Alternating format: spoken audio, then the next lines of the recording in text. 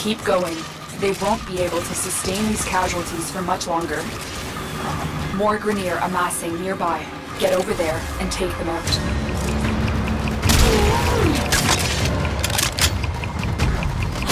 Almost feel sorry for them. Then I remember what's been done to us, and I'm in peace. Here's your bounty.